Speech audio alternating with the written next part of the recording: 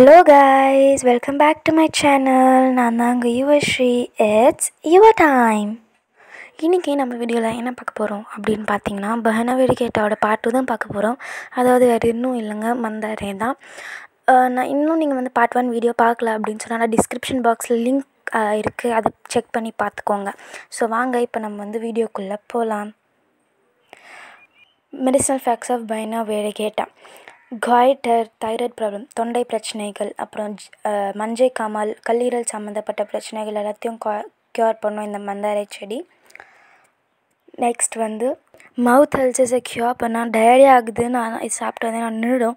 Loss of appetite. பசி எடுக்கலன்னா சாப்பிட்டு இருந்தேன்னா நல்லா பசியும் எடுக்க ஆரம்பிச்சிடும். Burning sensation and urine and urinary problems cure பண்ணும். அதாவது யூரின் போகும்போது எரிச்சல் எடுக்குது அதை வந்து க்யூர் பண்ணும்.